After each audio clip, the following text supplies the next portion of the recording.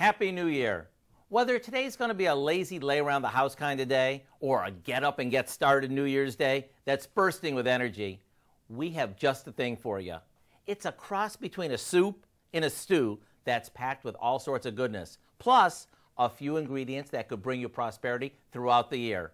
We start by putting a good amount of canned black eyed peas, juice and all, in a slow cooker, along with some chicken broth, a couple cans of diced tomatoes, some chopped onions, celery, and minced garlic. To hearty this up, we add some leftover holiday ham or deli ham along with a few spices.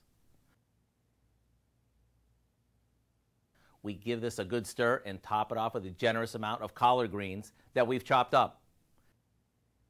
Now we cover it, set it on low, and folklore suggests that both the black eyed peas and the greens, which resemble money, will bring prosperity to anyone who eats them.